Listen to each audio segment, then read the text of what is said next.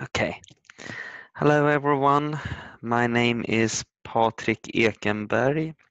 I'm an applications engineer for uh, Wolfram MathCore, the developers of the software tool Wolfram System Modeler. And I'm here to, today to talk about some of the exciting new features that came in Mathematica 11.3, where we integrated part of the system modeling experience into the core Wolfram language. So uh, an outline will be as follow. I'll give some brief uh, motivation behind why you would want to do these kinds of system modeling. Then I'll go over what is actually new in Mathematica 11.3. And finally, we'll get into the meat of it all and we'll see how this actually works. Right, so to start off, what is system modeling and why would you want to use it?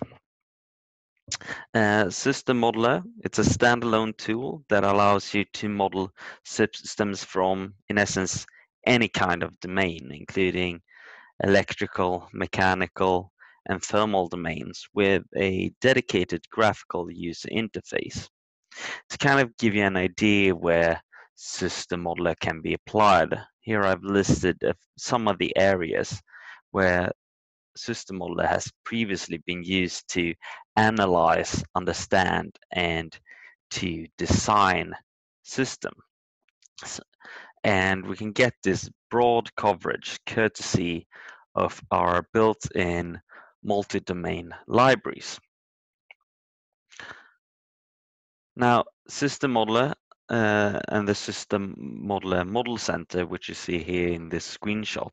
It's the origin of most of the models that I will be showing here today.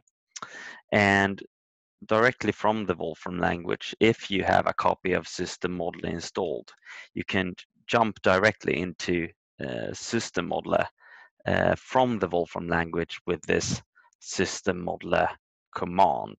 So in uh, lieu of in uh, uh, in lieu of time, I will skip this today, but we have some great courses if you want to learn about how to uh, actually do the graphical modeling in uh, System Modeler itself. We have those up on the website called Wolfram U. So I recommend checking those out. Today, however, I'll go through more of the uh, interface between System Modeler and Wolfram language. But in essence, models in System Modeler, they are created using a drag and drop interface. You simply drag a component from the class browser here on the left, which includes all our built-in libraries, and you drop them onto the modeling diagram like this. And then you connect the different components up and bam, then you have a model that you can simulate, that you can play around with, and that you can analyze. So in, in this talk today, I'll focus mostly on the models that have already been built and show you how you can analyze them. So um, in order to utilize this functionality, uh, you uh, most major platforms are supported. In fact, this has uh, this has the same requirements as the uh, basic installation of a desktop Wolfram language client such as uh, Mathematica or uh, Wolfram One. Uh, there's no support for cloud yet, but we're hoping to include that in the future. Th something that you will need, however, is a compiler because what happens when you um, when these models are built and you go on to simulate them, they take all the mathematical equations behind it and compile it into highly efficient C code. And that is why a compiler is needed. If you run any uh, Wolfram language commands that require this compiler, however, uh, you'll get a uh, you'll get instructions for how to how, to download it. And on Windows, we have some automated workflows that makes it so that you can download this with just a click of a button. Um, so some might be familiar with the system modeling packages that we had for uh, Wolfram language earlier. And this was the previous situation where we had a package called WSMLink, which connected to uh, a standalone copy of System Modeler if you had one on your desktop. Um, that was the previous situation.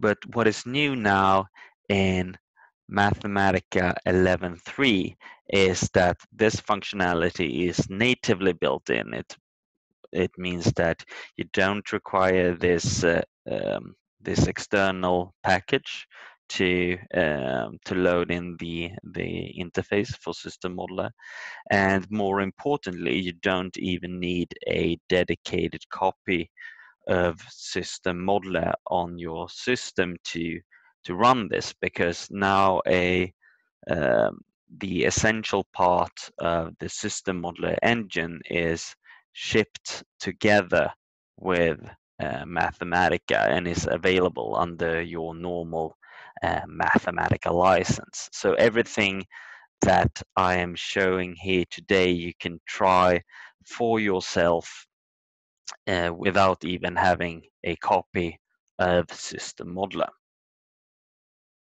So let's start by looking over how this works. Now, system modeling it uh, introduces a new uh, first-class citizen of the Wolfram language, a new typeset object called the system model. And to get a system model, what we do is we, in essence, just type in system model and then a name of a model that is loaded in the system modeler engine.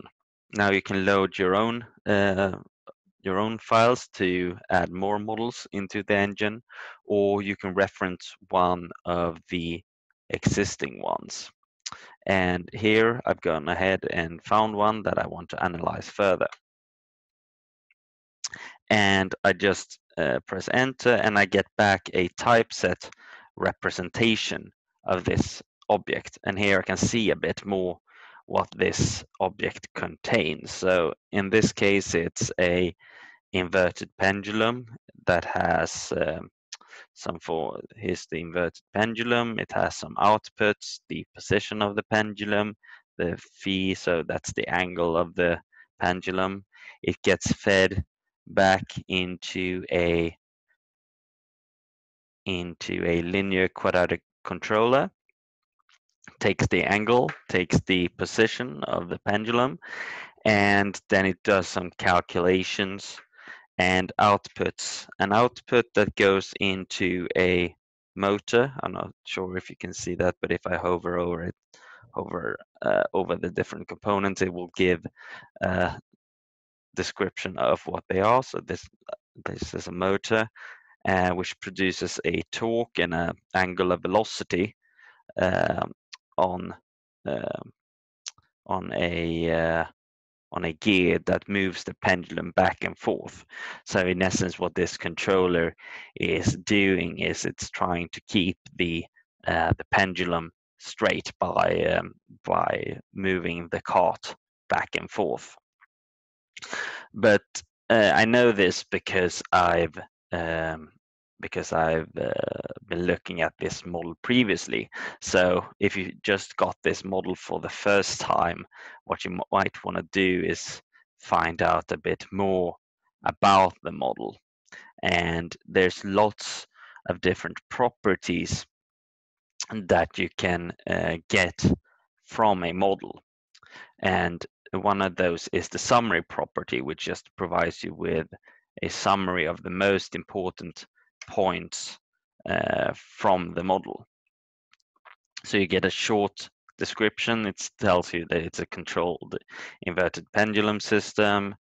Uh, it kind of gives you an idea what the if you can simulate the model because not all models in the uh, not all system models can be simulated. Some are just components in bigger models.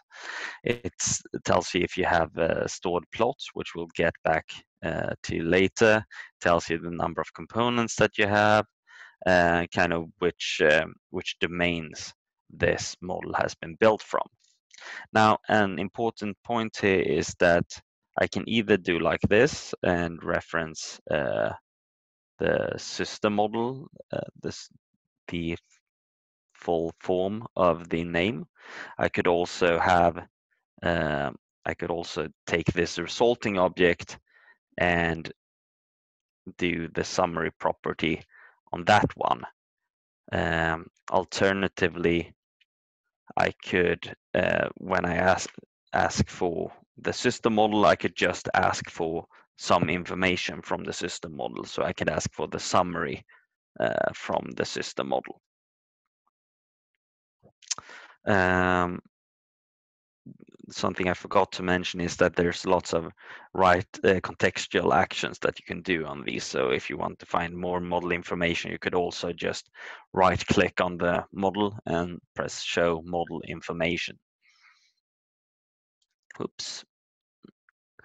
Um, right, but the summary property, it's just one of the many different computational properties that you can get back from these objects. We can list, get a full list of all the currently uh, supported properties by just asking for properties like you would with any other uh, Wolfram language typeset object. So there's lots of different computational things uh, that you can get that you can get back uh, that you can get back from this. So, for example, if we want to know the um, the components in the model. What kind of components is it using? Then we could ask for that.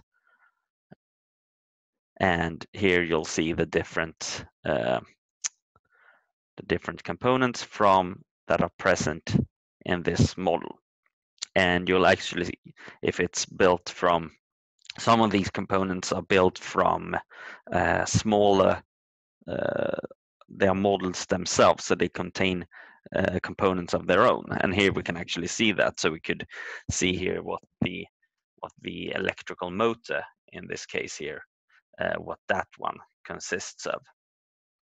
And all of this is computational, of course. So if you want to do some more uh, fancy logic, you can you can do that automatically using scripting. Okay, but just right now we've only explored the object. What's more important, of course, is what you can actually uh, do with it. And the first thing that you might want to do with a simulation model is, of course, to simulate that model. And the easiest thing to do is to just plot it, to run a simulation of this inverted pendulum model and then uh, plot something from the model. And we can do this using the system model plot command. And uh, in the, its easiest form, we just say system model plot. Uh, we put either the typeset object or the name of the uh, typeset object and we get back some default plot from the model, something that the model developer has said was the most important thing uh, to plot when you're starting out with this model. In this case, it seems like that is the uh, first a plot of the uh, angle of the pendulum uh, as an offset from the top. Uh, let's see if we like an offset from the uh, top pos the position like this. So what the controller wants to do is to have it standing straight up uh, at zero here. Um, and there's there also seems to be a uh, a reference position for the uh, cart. So the cart is continuously moving, and this plot shows that. Um, what you could also do instead, and this is um, this is true throughout this, instead of giving the um, the name of the um, instead of giving the typeset object or a symbol that has been assigned to the typeset object, what you could do is you could also give uh, the string that uh, uh, that represents this model. So like that, just like the string we gave in the beginning to reference this uh, this model. And I think I misspelled it, pendulum. Um, something like that, um, if I don't misspell it. Right? Uh, but we, of course, are not limited to uh, just plotting what whatever uh, whatever is um, the model developer chose. Uh, you can also plot other things from the model. Now, I think in this case, there's only one uh, plot that has been stored uh, in the model, and that was the one we saw previously called angle and position. And I know this by using the plot names property like I did uh, previously. But to uh, but to show you how it works, what you can do is you can take, uh, you can do the system model plot command. Actually, let's do it up. Uh, let's do it up here. Uh, you can do the system model plot command, and then you can, as a second argument, what you could do is you can either reference a uh, either reference a uh, plot, a plot name, like one of those from this list, which unfortunately is only one in this case, or you could reference a um, you could reference a variable in the model and I'll show you later how we can find those variables. But let's look at this uh, plot here, which is the same one as we saw previously, but ooh, angle and plot is not right. It's an angle and position. Um, the same one as we saw previously, but what we're doing now is we're instead of relying on what is the default plot in the model, we are actually telling the system model plot command what kind of plot we want to see. You might have noticed here that it pops up a window uh, that says, oh, it's not doing that anymore. That said that it was uh, that it was compiling and it was simulating. Now, um, it's that's because it takes this model, it um, makes it into highly efficient C code, and then creates an executable from that, compiles it into an executable rather. and that that's the step where we need a compiler. Now, uh, right now we only relied on the uh, the default plot from the model we only re relied on the actual values that have been set in the model. For example, a, typical value could be the gear ratio of this gear. It could be the uh, number of windings in the motor, the mass of the pendulum, the length of the pendulum rod, the different uh, different parameters of the uh, linear quadratic controller, the uh, uh, the matrix in there. Now, often what we want to do is not just rely on those default variables. We might want to change something up in the model. And we could we can absolutely do this from the Wolfram language. And the way we do it is by first using the system model simulate command. And this works similar to the system model plot command that we saw that we saw up here, but instead of both simulating it and plotting um, and plotting the model, what it will do is it will just perform the first uh, first step, which is then to simulate the model.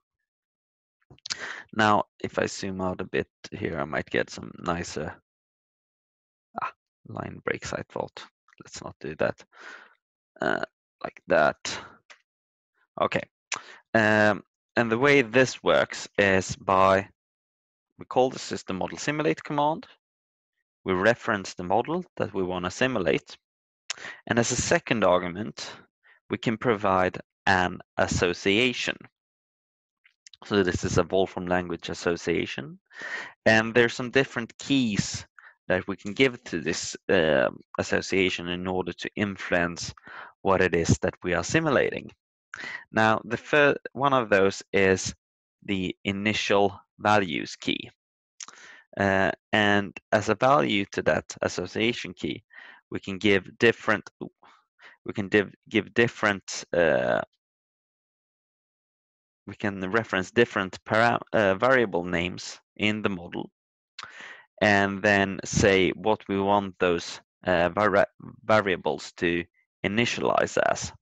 So for example, say that we want to to have the uh, the pendulum start at zero degrees, that is straight up. Uh, we can do that. And what we get back is a system model simulation data object. Now this system model simulation data object, we can send it to system model plot, which then will recognize that this is not a model, it's something that has already been simulated. And we could, for example, plot uh, the default plot by just doing like this, or we could, uh, actually let me show you. And then we, then we get the familiar plot. We could uh, plot a variable from the model. And here we already have a variable from the model. So let's use this one. And I'll give that string as the second argument.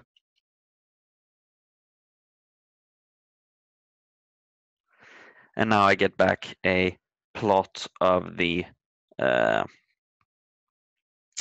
of the uh, um, the angle of the inverted pendulum. And then, of course, we could uh, change something up here. So we could say, like, okay, let's start at something that probably is going to go horribly wrong because it's too it's too off to the side. If it's 45 degrees, so I don't think the controller will be able to stabilize it. And we can already get a hint here that it doesn't look all right with the uh, with the inverted pendulum uh, with the snapshot that we get here of the of the variable. So let's see, take a look at how that turned out. Oh no.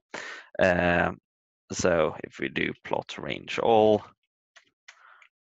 we can see that we initialized at 45 degrees. It's too far off to the side, and the um, the uh, the pendulum tipped over and uh, landed at 180 degrees, which is pointing straight down, which is the other stable solution for the well the only stable solution for the for the inverted pendulum.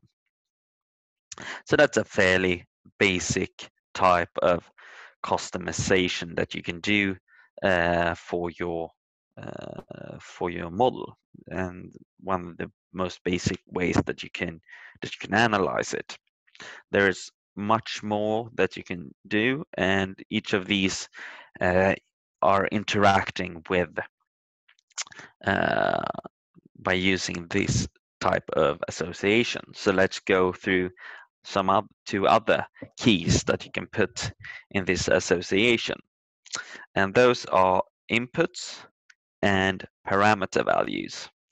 Uh, so let's look at another type of model. In this model, we have something, the big blue uh, blue triangle here uh, is called an input, and it's something that's it's undef when you created this model, what goes into this is undefined. Uh, but we can define what goes in here at simulation time. So what happens then is, in this case, uh, we have an electrical circuit. We have a voltage signal that, uh, so the, the input defines what voltage is, uh, is over this circuit. Then it goes through some different uh, resistor, some capacitor, and if you're familiar with electrical engineering, you might recognize that this is a low pass filter circuit. And in essence, what happens is if you have something of high frequency here, the voltage that you get out in the other end will be uh, will have those um, uh, will have the high frequency um, components cut out. So it's only uh, letting the low frequency uh, components of that uh, signal pass through. So it's useful if you have, for example, a noisy radio communication signal or or another. And then we can try this model using some custom input and see how how it reacts. And in this case, we uh, define the name of the input that we want to set. In this case, I can hover over it and see that it's called VI. So I'll type in VI down here in my association. Um, and then I can write any, uh, then I can write a uh, Wolfram language expression. So for example, I could do a time series. Let's uh, I will see what the what the input looks like later. So here I'm doing I'm saying that we want the input here to be a Wolfram language time series. And then we can use another key called parameter values to change different parameters in the model. So one in this case, one of the parameters that you might want to change is the capacitance of the capacitor 1, C1, and the capacitance of the capacitor 2, C2. So with that all set, and one thing I forgot to mention was that now between the first and the second argument uh, that we used previously, I nestled in some uh, a list here. It, this is just saying that uh, we wanted to start at time zero and we wanted to end at time four, uh, four seconds. Um, and this is override, uh, so the model might have some uh, some of its own settings saying how long it should simulate for. By using this, we're overwriting that and saying no, simulate for four seconds. And when we press enter, it will do, do just that. So uh, now we have the system model simulation data object again. Let's see if there's any stored plots here. System model plot. Can take that. Oh, there wasn't any stored plots. I thought there was. Anyway, we can. Uh, what we can do is we can uh, look at the v the variable v in, um, which is the time series that we're uh, that we are uh, submitting to this model. And we can also look at the output, VO. So instead of just putting down one variable, now I'm giving a list of different variables that I want to plot. So VI, it's the uh, uh, it's the input signal that we get from this time series, and VO is what happens after it has been filtered. And now, if we, for example, change any uh, any of the of the parameter values. Oh, I need to replace it. I think we'll get some, uh, we should get a bit of different uh, simulations. Now it's not uh, as, when I decrease this, it seems like it's not filtering uh, as high as it was doing previously because we have some sharp turns here on our output signal. Now, this required me to know a bit about the model, the different uh, the different uh, variable names and so on. However, I kind of want to uh, see how uh, how how can I find out about these different variable names? And we can ask our use system model again to find out new uh, more properties from the uh, from the model. One of those properties is the input variables, and here we can find in all in our model what's the name of all the different undefined inputs. In this case, we only have the blue one here, vi. So if we ask for input variables, uh, we can get vi. Uh, another thing, how do I find out uh, parameter names? Well, there's there's two types of parameters you could say. Um, one that you put inside uh, of the top level of the model, which means that uh, it's something that affects the entire model. And then each and every component has their own uh, their own parameters that you can uh, that you can change as well. But most of the time, uh, personally, I'm I'm mostly interested in the parameter names that are in the top level of the model. And what I could do though then is just like I asked for input variables, I ask for parameter names. But as I put a uh, I put it in a list and as the second part of the list, what I can do is I can define a string, a Wolfram language string pattern.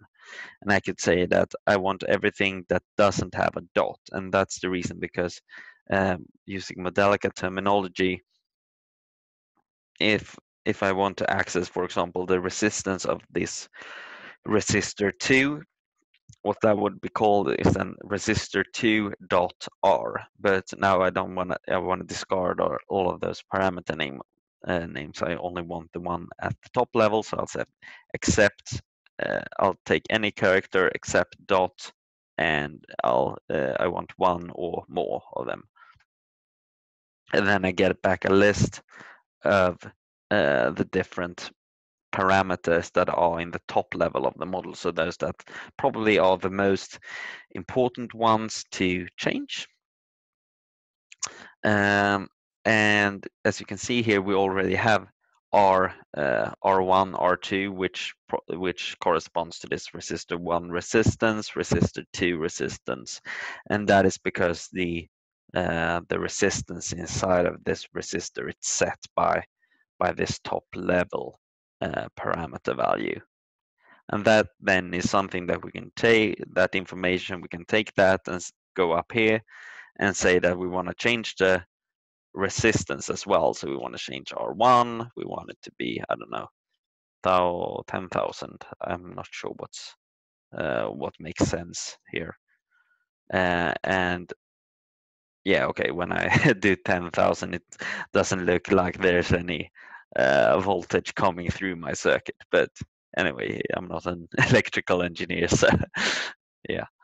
Um, finally, uh, if we want to find some initial values to set or something that might be important to plot, we can ask for the system uh, variables um, property just like the parameter names property, uh, this will give us the variables uh, in the top level of the model using the string pattern. And in this case, the only uh, the only one is our output. Um, but we could, for example, say then that oh, we want the output to be uh, to be zero in the beginning, or we might even set it to be uh, probably not going to try this because I haven't haven't tried it before. But we could probably say something like we want the out the initial value of the output to be 104.7. Hmm, I kind of want to try this, but yeah, I'll uh, I'll let you try this for your own. I think we can distribute this uh, notebook if you if you want to try any of this for your own. So um, just to remind you that all of this that I am showing here, it, it is available for uh, Mathematica 11.3 even if you don't have a copy of System Modeler on, installed on your computer. Uh, right, so I'll just show some more things about uh, what this system, this simulation result uh, contains. Now, um, I showed you what you could do using the built-in uh, built-in functions for plotting a simulation result. Uh, but there's so much more that you can do with this result object that get that you get back from the system model simulate command. Uh, I'll import a new model um, and I will simulate and when I import this model I should show you oops what I get back is a a reference to a system model object. And I can put that straight into my system model simulate function import that model uh, run from 0 to 10 and let's take this in two steps instead. Uh, what you get back is then the system model simulation data object that I showed previously. Now you can do more with this system model simulation data object um, that then just use it in a system model plot. One of the things you, you, that you can do is you can ask for specific variables from uh, that model. In this case, I could go through the pre the steps from the previous slide to find out uh, the name of um, the x and the y uh, variables here, which are just uh, oh. I should probably mention what kind of model this is. It's a ball that is bouncing on a 2D surface. And uh, and the x and y uh, variables here, they correspond to the x and y positions of that ball and I could say that I want to get back uh, some simulation data.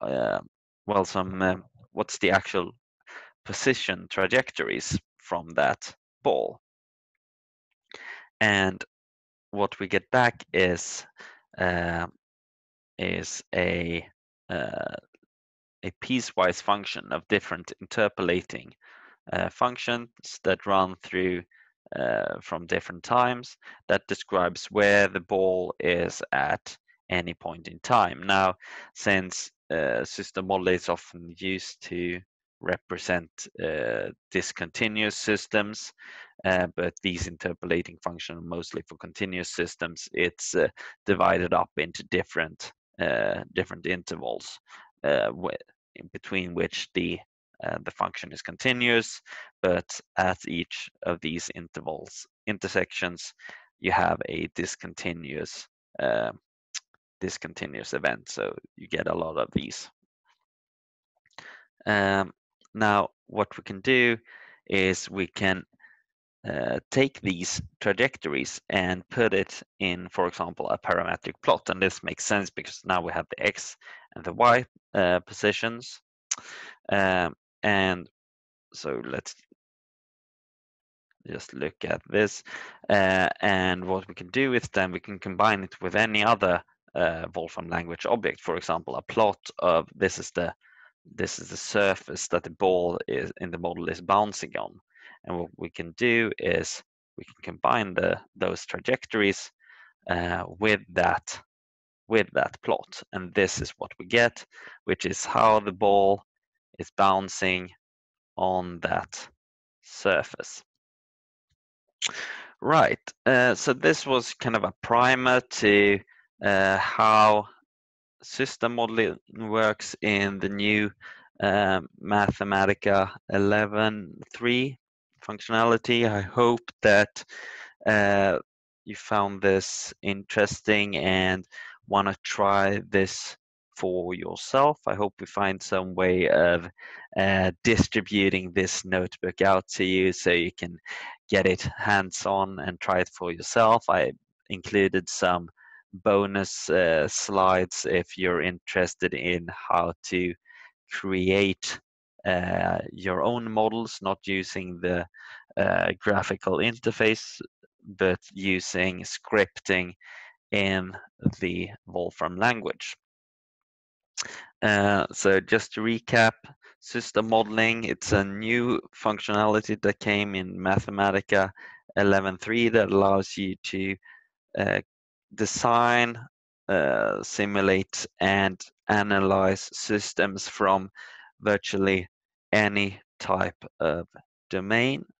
And it provides a new um, a new capability that we previously did not have with the uh, WSMLink package and additionally it's available to uh, all uh, Wolfram language users.